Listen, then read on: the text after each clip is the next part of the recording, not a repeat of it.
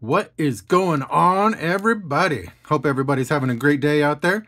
Today we got 1989 NBA hoops. We got less than a minute.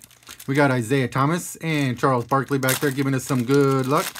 Hopefully we can get a David Robinson rookie card. Let's try it. Let's see. All right, here we go. We got Mark Jackson All-Star card. We got Matty Guokas, Mark McNamara, Hey, another All-Star, Tom Chambers. Nice. Thurl Bailey. Mitch Richmond. Jerome Lane, another one. Get that ball out of here. We got Shelton Jones. Paul Mokeski.